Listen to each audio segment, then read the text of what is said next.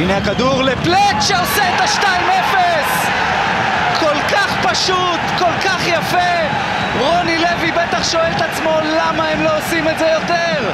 מכבי חיפה 2, הפועל תל אביב 0, הפעם חתוקה לא שיעה, גליינור פלט הוא האיש של חיפה. שמע, גם ההתקפה הזאת לא הייתה התקפה גדולה, שכטר הלך, הלך, הלך, הלך, נתקע, לא היה לו הרבה מה לעשות, הנה כאן הוא כבר תקוע, אז הוא נותן לדגני, דגני מרים את הראש, הגבהה מצוינת,